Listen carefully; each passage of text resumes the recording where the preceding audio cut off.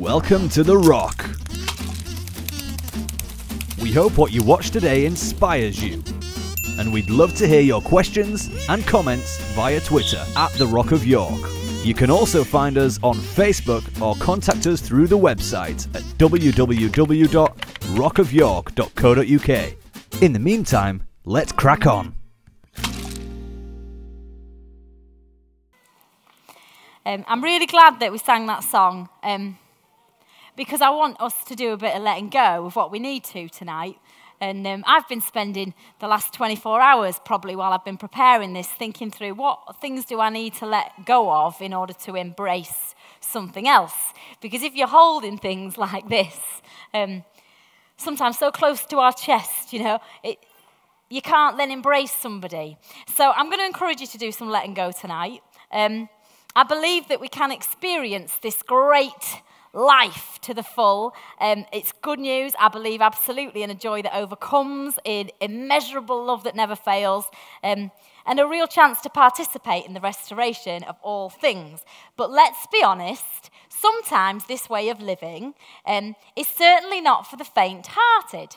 It takes courage and it takes conviction to walk some of the paths we have to walk in order to live the way that we want to live. And I, have put my title as Relentless Tenderness tonight, and I've linked it to We Believe in New Beginnings and Second Chances. But I actually could have pretty much linked it to anything in our welcome video because at the core of what I'm going to talk about tonight, I think it runs through everything.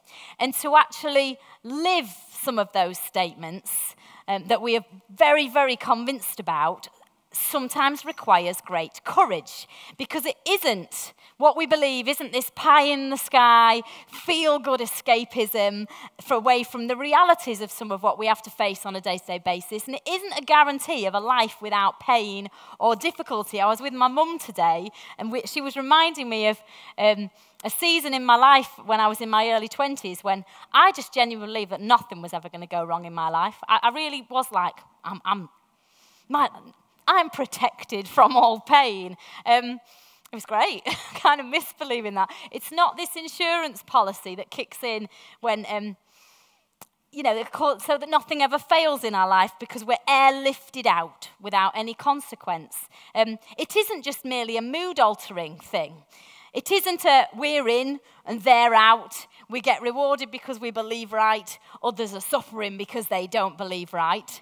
Um, I thought today the Pharisees in Jesus' day had their beliefs about who was in and who was out. And it's always very convenient that the people who often shout the loudest about the belief that people are in and other people are out are always the people that are in. It seems bizarre to me that. Um, now, it is so much more than that. It is so much more than that because we've learned that it is Christ in us, the hope of glory.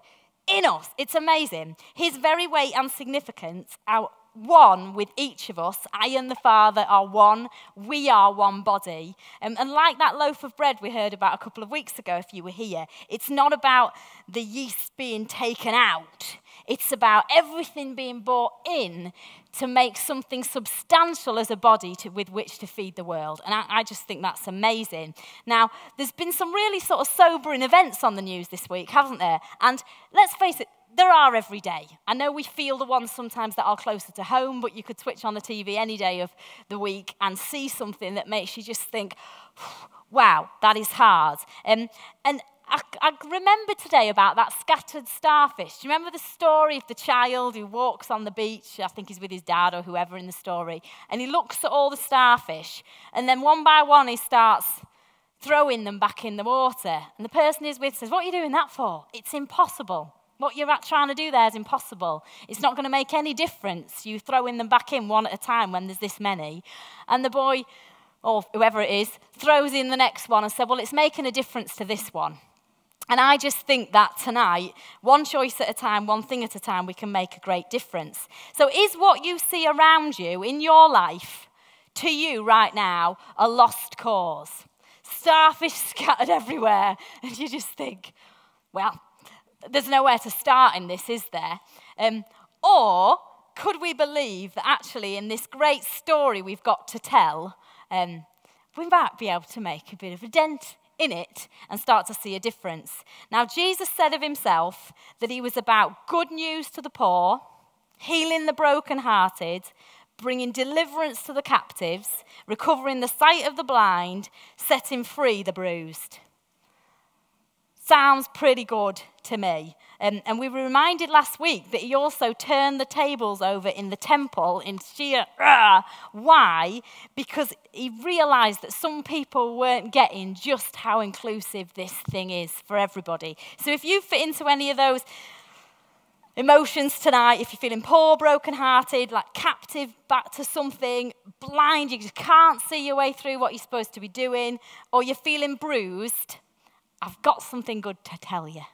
And if you're not feeling any of those things, then that, I've still got something good to tell you because you might feel them at some point. Or you can be a great encouragement and lifter to those who need lifting up tonight. So let's start with an individual starfish. I'm going to start somewhere. On Wednesday morning, I heard something on a TV program that was on in the background. And you know, when you're half listening to something, and I heard it, and I just felt myself go, What was that? Rewound it, and this, these were the words that literally smacked me in the face. It said, They say it's good to let your grudges go, but I don't know. I'm quite fond of my grudge. I tend it like a little pet. And when I read that, I, it spoke to me, and I found myself thinking, oh, could Am I doing that with anything? Because I have felt begrudged over some things recently. Um, and in that moment, I heard this challenge knocking at my heart saying, Why am I not letting some of this stuff go? I'm not letting some of this stuff go because clearly I've made it my little pet that I'm tending. It's clearly doing something for me because if it wasn't doing something for me, somehow I would not be holding on to it so tightly. And so it made me wonder why do we tend um, like a pet? Why do we tend these grudges? We call it holding a grudge. That's the expression we use. Um, why do we keep them when actually they're painful and they often seem to work against what we really want? And they keep these wounds that we had just sort of living and active and still out there. Um, and we live in the past experiences of this pain, which present, prevent new experiences from being able to happen. Um, why do we get so stuck? And more importantly, can we, can we get unstuck? Is there a way to move on? Now, I found this next line really challenging um, because I thought, oh, yeah, I've done that. Holding a grudge is like letting someone live rent free in your head. And don't things just camp in your head?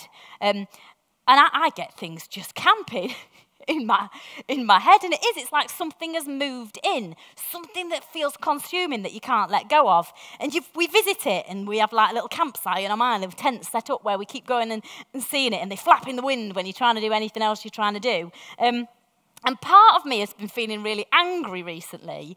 But in some ways, um, that's been a really positive thing for me because I've shared with you before that I used to believe I was had to be all all right and perfect. Um, and I used to think that being angry with someone else made me a horrible person. So therefore, if I felt angry with someone else, I would think, oh, I'm not allowed to be angry. I would almost tell myself I wasn't angry. All of that gets repressed inside you because you're still angry. You've just pretended you're not. And have you ever tried to keep steam in a kettle? Somewhere it, it's going to come out and you're going to boil inside. And actually, I remember today that Ephesians 4 says something really interesting. In your anger, do not sin. Think about that. It is possible not to be sinning if you're having a moment of anger. It's massive that. If you, I, had a, I got lost a bit today studying Ephesians 4, and that, that isn't where I'm going tonight, but it's fascinating. Have a little read of it and have a little study of it. Um, but in your anger, do not sin. So what I realised was I thought, right, I've heard that on the telly. I clearly am feeling that. So let's have a think. What am I angry about? Let's call a spade a spade, or in this case, let's call a grudge a grudge and work out where I go from here. So um, I don't hold grudges. I remember the facts. Right? Let's just call it, I mean, you've just sung it. We'll call it what, I'll call it what you call it. Now, the definition is this a persistent feeling of ill will or resenting, uh, sorry, or resentment resulting from a past insult or injury. or the verb, so something we be or something we, it's a name, we identify with it or we do it, being resentfully unwilling to give, grant, or allow something. Now, have a little think for a moment. And this is where my prayer is that you'll hear more beyond the word I'm saying, because I don't know how this applies to you. And there's absolutely, I promise, no condemnation in it, because in your anger, do not sin. So we're allowed to have a little think about what we're angry about and work out what to do. Some of you, I know, are here. Because otherwise, why would I feel inspired to speak about it? I could just have the conversation with myself. So, where is it in you where you're thinking, this thing just keeps chewing over in me? This person and what they did or what they said is in my head. And I'm not really wanting to give them my all or my best or this my all my best because of this, this, this, this, and this. It is very real and very powerful. And let's not pretty it up um, because I don't think I'm the only one that struggles with this. We all know how it feels. So, is it is it a problem? Is it a problem to have a grudge? Now, the truth is this we've learnt this a lot, and we, we've taught the, a few weeks ago about the perils of freedom. The truth is that in Corinthians it says, everything is permissible for me, but not everything is beneficial. Everything is permissible for me, but I will not be mastered by anything. Now, you can keep your bad feeling and your resentment and how you feel about it. You can have it if you want it. The question is, is it benefiting you? Is it mastering you? Has you become a slave to the feeling of it and to the outworking of it? Now, heed the warning that's implicit in this. Once these things start to master you, they are really driving your life. They start dictating decisions. Decisions lead to consequences. And before you know it, you're in a place that really was triggered by a, a, grudge, a feeling you had towards someone else. And I liked this slide. There's a universal paradox that you're free to choose, but you're not free from the consequence of your choice. Again, there's no condemnation in that. It's just if you make a decision, there's going to be a chain of events like dominoes, and you're going to end up here. Um, I don't want to be mastered and be dictated to by the, the grudges that come up because of pains that are, happen and how we have to process those. Now, this is not to make you afraid, um, because we all have to make choices, but it is a reminder that there is a point to pursuing truth. And some people think, well, you know, now there's not this thing where God's going to strike me down if I do anything wrong, or there's not someone telling me you must live like this.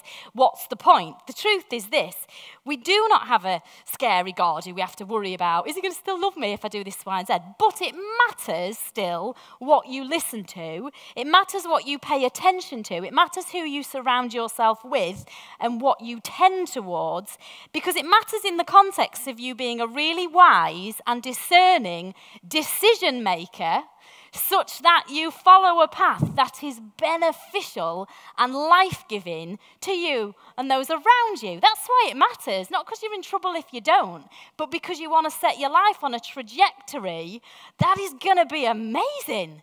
So it still matters what you do, what you think, what you attend to, what you. Uh, it matters. Now, you get one shot at living. You get one shot. I had this, um, again, I, am finding myself, I'm feeling quite empowered in my 40s. I'm going to be 42 soon. And I remember, I'll be honest, a lot of my 30s, I was very sad. And when I reached 40, I thought, am I going to live another decade feeling sad? I've lived like 40 years. I don't, I don't want to do any more sad. You, you start to, I'm still quite young. 40 is the new 30, apparently, um, which you can all work backwards from there. But you still think, I, you know, we got one shot, haven't we? What are we going to do with each of our todays? Are we going to fritter them away, obsess them away, or are we going to live them with Christ in us, the hope of glory? Um, now, does any of this next bit resonate? When you allow yourself to be carried along by what other people think your life should be, could be, must be, when you hand them the pen and tell them to write your story, you don't get, don't get the pen back, not easily anyway. I was an author who didn't know how to author her own life. I thought outside forces would guide me benevolently, rightly. They did not. and it was not their job, it was mine. I abdicated authority for my own choices, and what it led to was a broken body and depleted soul. I thought that was huge. Um, are we abdicating responsibility for our choices because we're not paying attention? Now, don't hear what I'm not saying. We've talked a lot, and we are a prophetic house. We've talked about the thin places where we know revelation comes. We are guided by the Holy Spirit. Don't hear what I'm not saying. But it is not detached from us, it is Christ in us, the hope of glory, and it's going to come through our understanding and how we pay attention and how we process from within. Now, holding grudges can lead to abdicating our own choices because the narrative becomes, well, I had to do this because they. I had no choice because that was happening. Um, it just be aware we cannot abdicate the fact that we have a choice. Now, I lived for years with the resentment of believing I was imprisoned by others' choices and I was desperately unhappy in it and very resentful until someone one day sat me down, gave me a bit of a slapping, and made me see that actually I, what I did have a choice and I was making a choice and I had to own that choice. And if I wasn't happy with that choice, I needed to make another one. It was one of the most awful conversations, but I tell you what, it was life giving. We do have choices. Um, now, in the in the, well, I've put here, be willing to get messy to get past a grudge. I tell you, sometimes you've got to have a messy conversation. And I've put this a grudge will not just vanish, and it is never impotent it will always reproduce something in your life. So sometimes you've got to get with it. Now, early, there's an early story in the Bible about Jacob and Esau with the first mention of grudge. Now, Esau held a grudge against Jacob because of the blessing his father had given to him. So the dad had said, Jacob, you're blessed. And Esau was like, well, what about me? I'm the oldest. I should have got the blessing. He was not happy. He was hurt. He felt rejected. He felt less than he was pained by it, and so he held a grudge. And what he said to himself was this the, uh, his dad dies, and he says, The days of mourning for my father are near. Then I will kill my brother Jacob.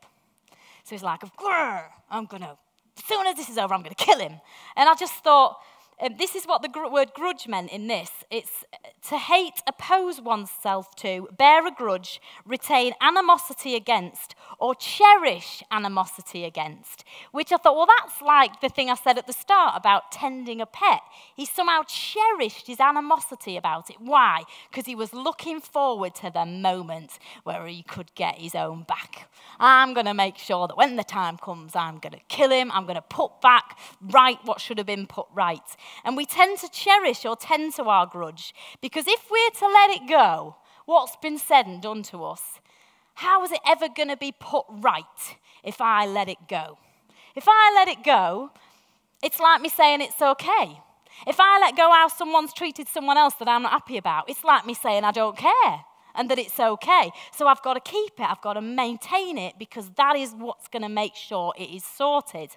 Now, it ends up, though, for Esau, it ends up having that life in it that goes beyond what is his own choice to him being mastered by it. And let me just show you the next bit later on. Esau learned that Isaac had blessed Jacob and had sent him to Paddan Aram to take a wife from there, and that when he blessed him, he commanded him, Do not marry a Canaanite woman. Don't worry, there's a context to it. Just get the heart of it. So he went to Ishmael and married Mahatha, the sister of Nahor and daughter of Ishmael, son of Abraham, in addition to the wives he already had. Now, this is the point. The point is this Dad says to Jacob, Oh, you're blessed, but don't marry a Canaanite. So Esau thinks, Ha ha, I'm going to go and marry a Canaanite now just to annoy you. Who's the only one living with the consequence of that? Really? Who? It, it, and that's what we do. It's almost like it, it, drives us to be mastered. That wasn't a decision he was making because it was a great beneficial decision. It was a reactive decision to somehow deal with his pains and to somehow hurt the person who had hurt him. I don't think that's a beneficial way of living. I don't think it works, actually. And I think it sets up I tried to be really clever today and look, to, look at, you know how Ant does this thing where then look at the original meanings. And I looked at the name of Esau's children so that there'd be a real biblical name that proved that the children he had were like really awful, but they don't mean anything. But it was going to be really impressive if it did. I still think it's the truth. Okay, now, he knows what will make his father unhappy, so he does it on purpose. And now I find this interesting, and it, come on, it's not uncommon, is it? That's not an uncommon thing that we do. Um, we retaliate in all the ways we retaliate it because it's mastered us. And um, the grudge is in the driving seat, setting the direction. It is now what totally defines him. Now let's have a look at this next one. As long as you make an identity for yourself out of pain, you cannot be free of it. Now I need you to brace yourself for this next bit. It's quite painful. Are you ready? This bit made me go, ouch. Really? Okay. Are you ready to face possibly some truth for some of you that doesn't feel very nice? It's like medicine, that horrible stuff. Okay, here we go. You've just got to see if it resonates with you. Grudge, grudges come with an identity. With our grudge intact, we know who we are a person who was wronged. As much as we don't like it, there also exists a kind of rightness and strength in this identity. We have something that defines us, our anger and victimhood, which gives us a sense of solidness and purpose. We have defini- definition and a grievance that carries weight. To let go of our grudge, we have to be willing to let go of an identity as the wronged one and whatever strength, solidity, or possible sympathy and understanding we receive through that wronged identity. Some of you, I know this will be speaking to you. I had not, oh, I was about to read the bit from my notes like it was from another book. Um, now, I, I find this quite powerful because I know I, I know I have done this and I know I sometimes do do this. This is why we tend it like a pet because it so has become part of who we are that actually there is a comfort in a weird comfort in the sense that um, because we've not sort of had it resolved any other way, it's almost like something we have to hold close. It's powerful, but if you can grasp it, it's really significant. Now, I hadn't not registered the, I had not registered the link between a grievance and grief before I saw that. I'd never made that that link um, because it feels like a death. And it's interesting what Joel was saying about a death in life. It feels like a death that something's died. And if you've ever experienced death of someone close to you, you cannot just snap out of it. You, re- you really can't. It is difficult to let go. And what can be really hard is that when it first happens, the sort of the moment or the, you know, the, the event of a person's death, everybody rallies round and there's great comfort and there's great support. And then to some extent, quite, quite rightly, you can't knock people for it, but everybody then returns to their own life. And you're forever altered because if it's the close person who was close to you. And I just thought um, we cannot judge others for their pain in that and for the grief in that. And the grief and the grievance, they are really, really closely li- linked. Um, if you've never felt that, again, I've put on here, you have an amazing opportunity to be the ears, words, hands, and feet of healing as part of this body. Um, now, he who conceals his grief finds no remedy for it.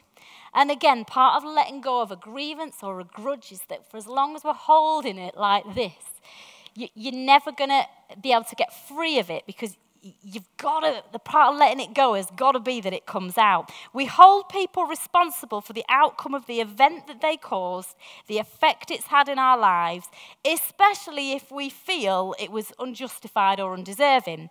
In order to let go, we have to revisit the scene and only leave it when we have come to a different conclusion or reconciled the event in our mind.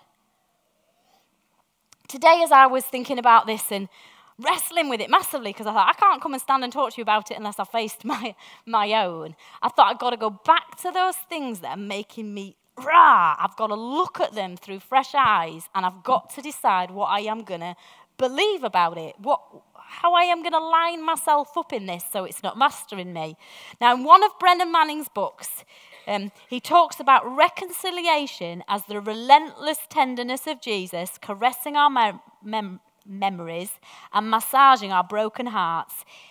Now, instead of tending to our pet grudge, to me, I took that that He tends tenderly to our hearts. Now, let me show you this. I've got it from the book, The Relentless Tenderness of Jesus. It's amazing, this.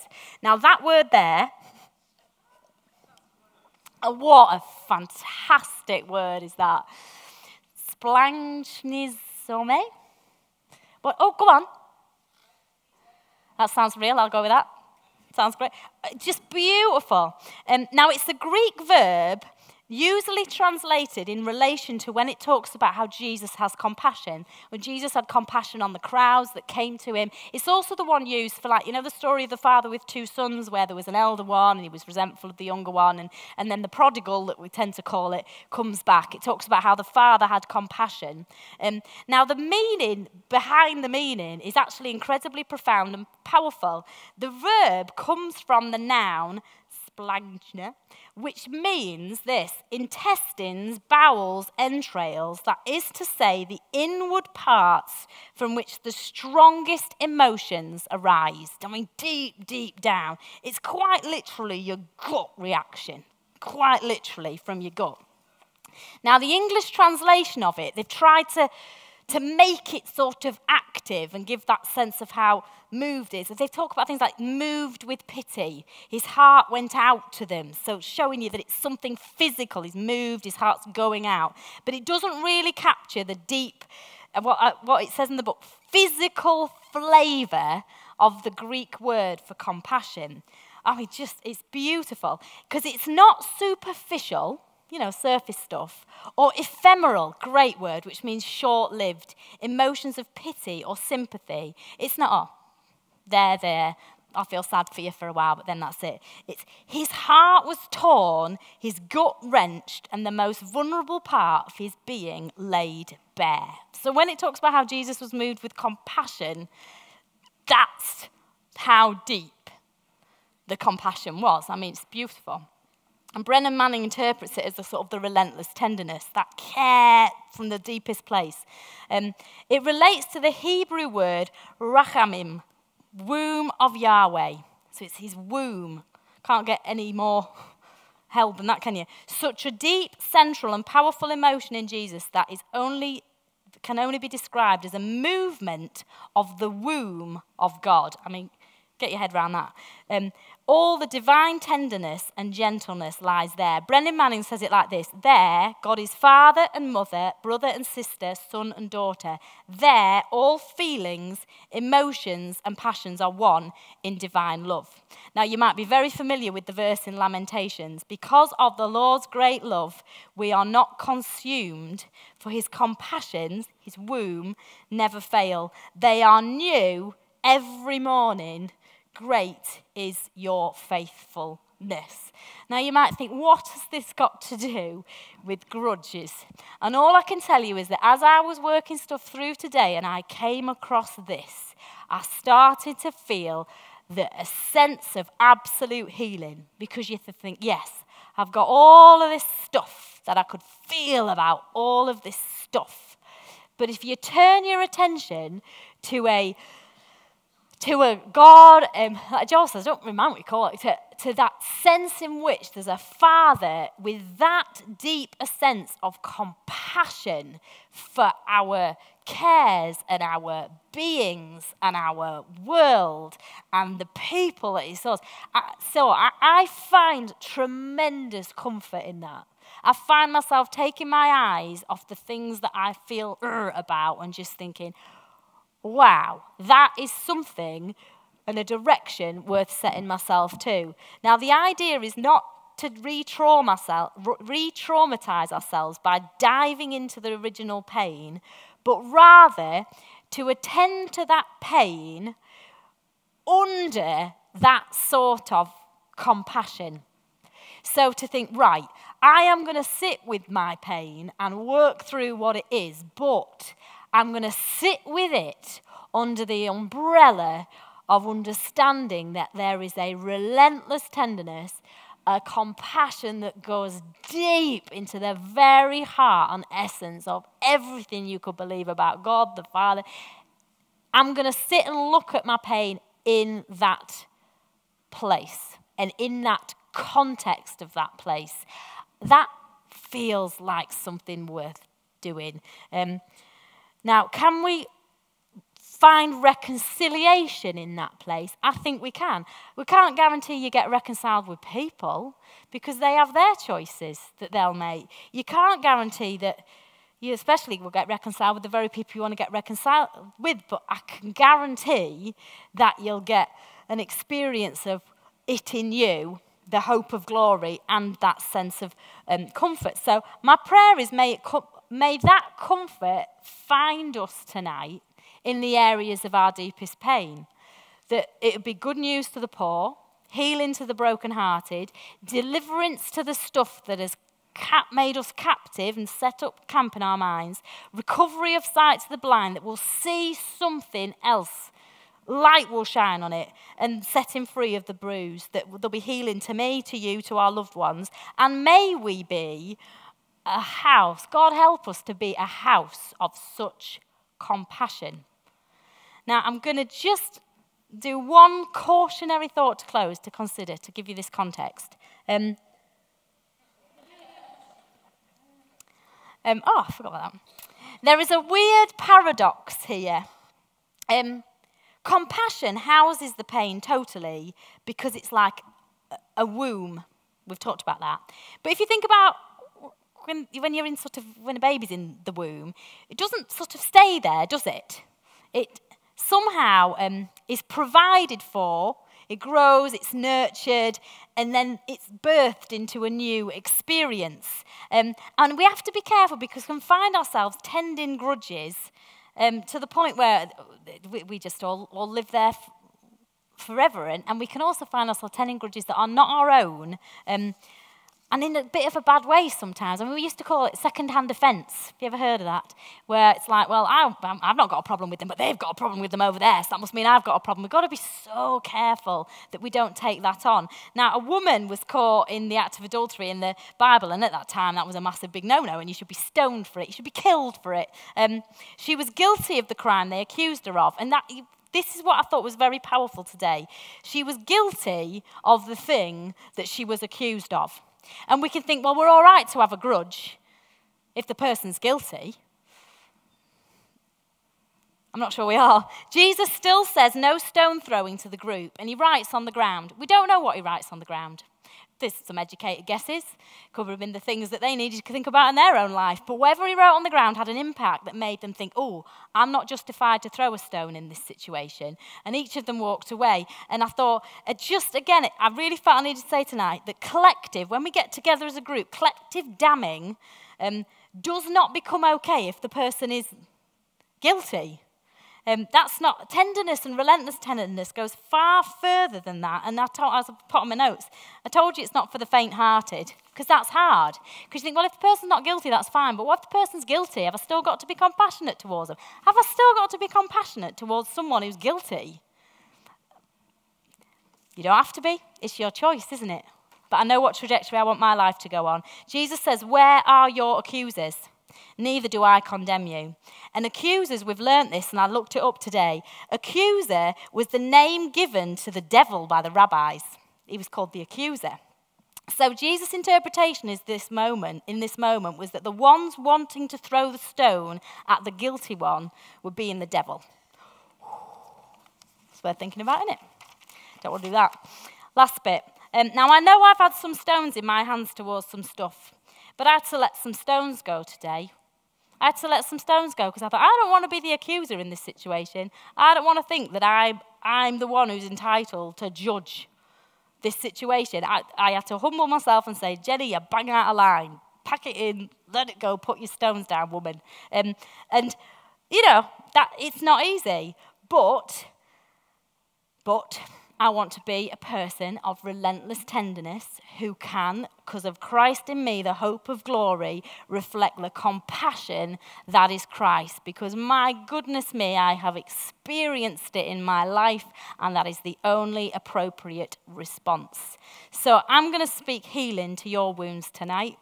I want to speak reconciliation where it can be reconciled in a way that we see physically, may that come to pass. Um, where it cannot be reconciled physically, may we have a reconciliation of heart. And for what it is worth, I am sorry for where you feel wounded. I'm sorry for the damage that has been caused to you, for where people might have been cruel or unkind or unforgiving. I'm sorry that hurting people hurt people, and then we hurt people, and then they hurt people. I'm sorry for that cycle that happens in life, and I think we can be part in this place of breaking that cycle because we can be a compassionate house of relentless tenderness. And over a lifetime, that is a life worth living, don't you think? So, beloved, not begrudged, be loving, not begrudging, because we become convinced of his compassion. And I am utterly convinced that that is how he loves and sees us. So we are going to sing to close. His love never fails. Um, and as you're singing it, have in your mind that that love is that relentless tenderness.